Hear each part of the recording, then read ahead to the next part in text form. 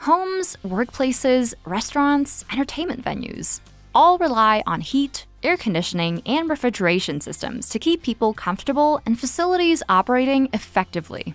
When these systems go down, it's critical to have trained and trusted professionals to get these systems back up and running.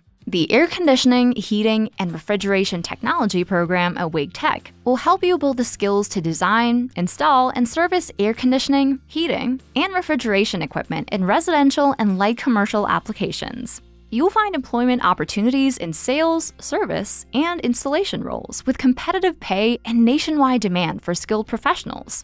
Our program includes hands on learning opportunities that give you experience and prepare you to thrive in a professional setting.